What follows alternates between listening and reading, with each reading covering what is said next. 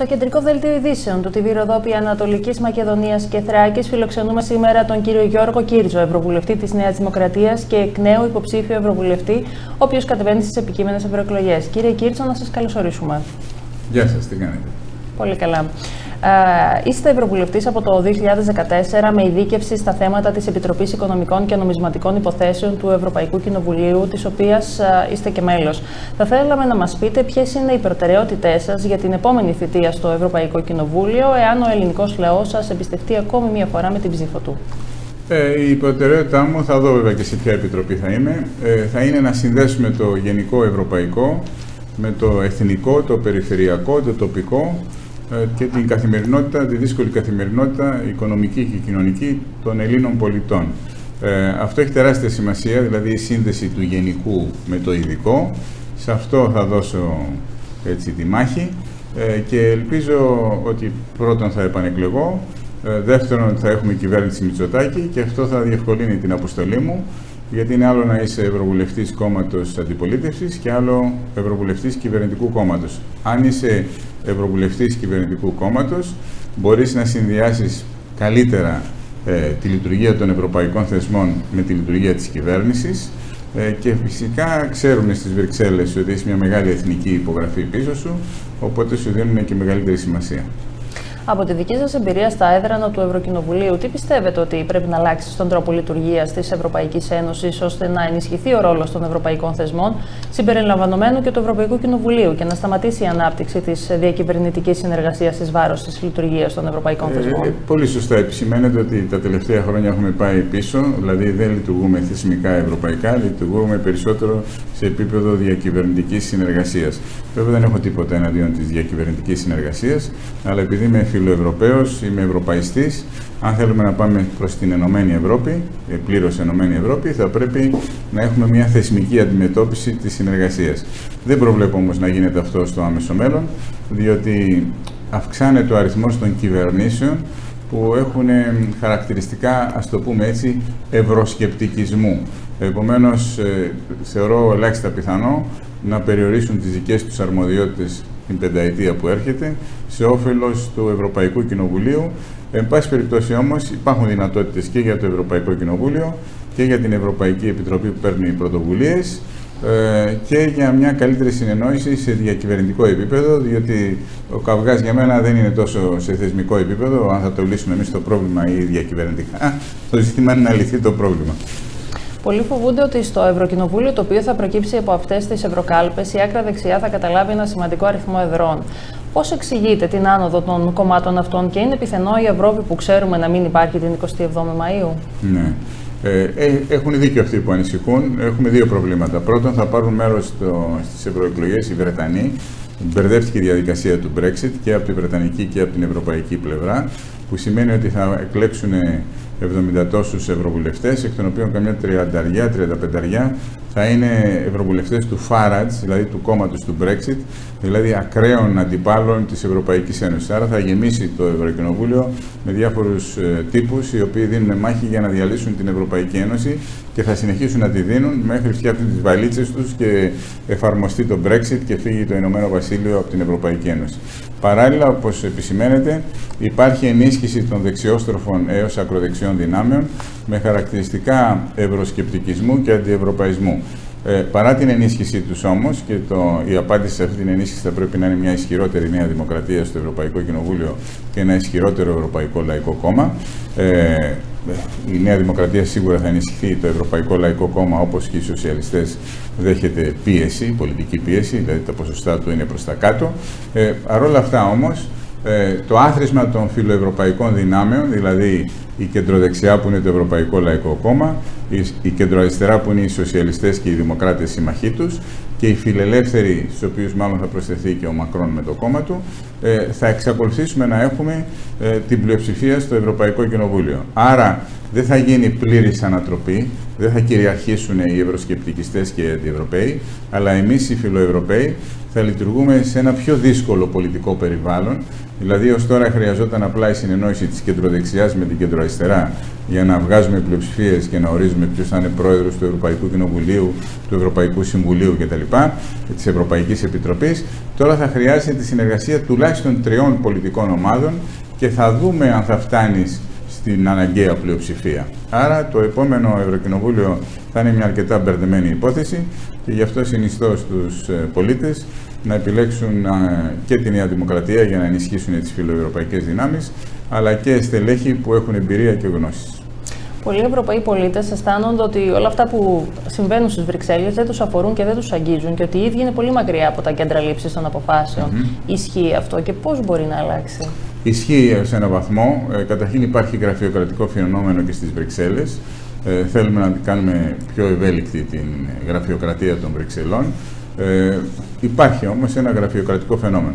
Δεν είναι, λειτουργεί βέβαια γιατί είναι καλά οργανωμένη, ε, είναι καλές οι αμοιβές των, ε, των απασχολούμενων, των υπαλλήλων και των, ιδιαίτερα των στελεχών, αλλά υπάρχει αυτό το, το φαινόμενο το γραφειοκρατικό το οποίο θα πρέπει να καταπολεμηθεί. Το άλλο ε, πρόβλημα είναι ότι ε, ο ευρωπαϊκός προϋπολογισμός είναι μόλις 1% του ακαθάριστου εγχώριου προϊόντος ε, των χωρών της Ευρωπαϊκής Ένωσης, δηλαδή ένα πολύ μικρό ποσοστό. Να σας δώσω να καταλάβετε, ο εθνικός μας προϋπολογισμός είναι της τάξης του 47% του ακαθάριστου εγχώριου προϊόντος της Ελλάδας.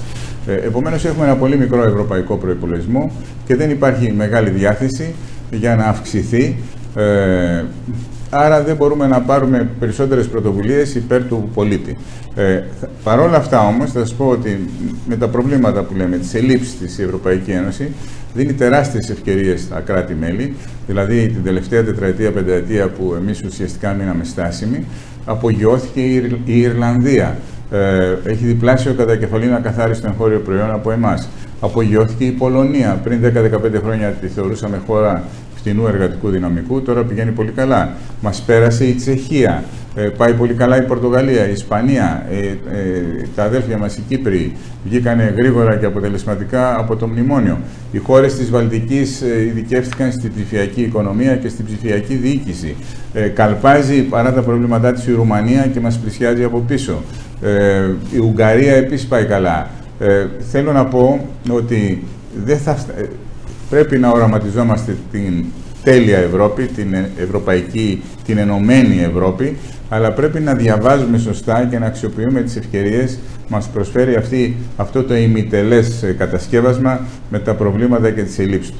Ένα συγκεκριμένο παράδειγμα, όλοι οι άλλοι, ε, χαρακτηριστικό το παράδειγμα της γειτονικής Βουλγαρίας, παίζουν με τους φορολογικούς συντελεστές για να τραβήξουν επενδύσεις. Όλοι παίζουν προς τα κάτω. Εμείς διαχρονικά και ιδιαίτερα επί κυβέρνησης Τσίπρα ανεβάζουμε τους φορολογικούς συντελεστές. Αυτό είναι πράξη οικονομικής αυτοκτονίας μέσα σε ένα ανταγωνιστικό φορολογικό πλαίσιο που έχει η Ευρωπαϊκή Ένωση. Άρα, παρά τα προβλήματά της Ευρωπαϊκή Ένωση, αν τη διαβάσουμε σωστά και προσαρμοστούμε και φύγουμε και μπροστά, νομίζω θα πάμε καλά, όπως πηγαίνουμε καμιά δεκαπενταριά άλλοι ε, πολύ καλά τα τελευταία χρόνια, που δεν είναι και από τους πρωταθλητές της οικονομίας. Βλέπουμε ότι τα ποσοστά συμμετοχής των Ελλήνων στις ευρωεκλογές, τα οποία είναι και τα υψηλότερα στην Ευρωπαϊκή Ένωση, ε, βλέπουμε όμως ότι οι ευρωεκλογές σε όλες τις χώρες αποτελούν ένα μείγμα ευρωπαϊκών και εθνικών πολιτικών στόχων. Πιστεύετε ότι οι Έλληνες γνωρίζουν και κρίνουν ορθά τα κριτήρια με τα οποία θα πρέπει να επιλέξουν τους εκπροσώπους της Ελλάδας στο Ευρωπαϊκό Κοινοβούλιο; Ε, εντάξει, έχετε δίκιο. Είναι ένα μείγμα, ε, το οποίο στην περίπτωση της Ελλάδας είναι μείγμα ευρωπαϊκό, μείγμα εθνικών πολιτικών στόχων. Ε, είναι και μείγμα περιφερειακών εκλογών και εκλογών τοπικής αυτοδιοίκησης. Κάτι να κάνουμε τώρα. Η πολιτική είναι μια σύνθετη διαδικασία και η ναι. δημοκρατία είναι μια σύνθετη διαδικασία. Θα σας πω ότι εγώ είμαι ικανοποιημένος με τα ποσοστά συμμετοχής στην Ελλάδα. Μπορεί, θα μπορούσαν να ήταν καλύτερα, αλλά όπως πολύ σωστά τονίζετε, είναι από τα καλύτερα στην Ευρωπαϊκή Ένωση. Υπάρχουν πρώην Ανατολικές χώρες με ποσοστά συμμετοχής στις ευρωεκλογές της τάξης του 15-20%. Εμείς είμαστε στο 58-59% αν θυμάμαι καλά, με μέσον όρο στην Ευρωπαϊκή Ένωση ποσοστό συμμετοχής 42%. Άρα είμαστε από τους πιο φιλοευρωπαίους. Ε, τώρα όλες οι ευρωεκλογικές αναμετρήσεις χρωματίζονται από εθνικά πολιτικά χαρακτηριστικά, δεν πρέπει να μας ξενίζει αυτό, αλλά βέβαια πρέπει πάντα να έχεις ένα μείγμα, να είσαι σε θέση να εξηγείς ποιοι είναι οι ευρωπαϊκοί σου στόχοι, τι θα υποστηρίξει την Ευρωπαϊκή Ένωση και ταυτόχρονα βέβαια να υποστηρίξεις, ε, να ενισχύσεις την πολιτική δυναμική που σε ενδιαφέρει στο εσωτερικό της χώρας. Είναι μια σύνθετη άσκηση. Ελπίζω να την κάνουμε σωστά και να μην χαθούμε στον δρόμο. Μάλιστα. Κύριε Κίρτσο, πιστεύετε ότι οι ευρωεκλογές θα αποτελέσουν πρόκριμα για τις ε, εθνικές εκλογές; Εγώ πιστεύω ότι έχουμε μπει, και δεν είναι θέμα τι πιστεύω, είναι γεγονός ότι έχουμε μπει σε μια τελική προεκλογική ευθεία. Ε, δεν ξέρουμε ακριβώς το μήκος, τη διάρκεια, ε, αλλά τέλος πάντων Έχουμε τριπλέ εκλογές 26 Μαου. Έχουμε προεκλογική και εκλογική ατμόσφαιρα στην Ευρωπαϊκή Ένωση, που και αυτό έχει τη σημασία του, γιατί για να λειτουργήσουν οι θεσμοί θα πάμε τουλάχιστον μέχρι Σεπτέμβριο-Οκτώβριο να δούμε ποια θα είναι η νέα σύνθεση του Ευρωπαϊκού Κοινοβουλίου, η νέα σύνθεση της Ευρωπαϊκής Επιτροπής, ποιος θα είναι ο νέος Επίτροπος Οικονομικών κτλ. κτλ. Ε, και έχουμε και εμείς και την, ε, ε, τις βουλευτικές εκλογές.